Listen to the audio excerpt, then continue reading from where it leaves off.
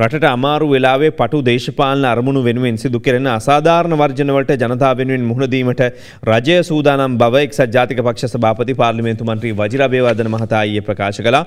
බංකොලොත් රට ගොඩදාගන්න අවස්ථාවේ පාරට බහින වෘත්තීය සමිති ව්‍යාපාරවල මොලේ පරීක්ෂා කළ යුතුයි කියලායි ඔහු කියන්නේ. සියලු දෙනාගේ සහයරගෙන යන්න ඕන ගමනක් දේශපාලන පක්ෂ ભેදයෙන් තොරව සියලු දෙනා එකට එකතු වෙලා වැඩ කළ යුතු මොහොතක් විවිධ විදේශ බලවේගවල අතකොටු බවට පත් වෙලා රට අරාජික කරන්න කටයුතු කරන මොහොතක් නෙවෙයි මේක කියන එක ඔහු කියනවා. 1979 අංක 61 දරන අත්‍යවශ්‍ය මහජන සේවා පනත සම්මත කළේ මෙවැනි කඩාකප්පල් ක්‍රියා පාලනය කිරීමට කියලායි ඔහු කියන්නේ. මෙවැනි නීති සකස් කළ තියෙන්නේ රටට යහපතක් කිරීමට කියලත් ඔවුන් කියනවා.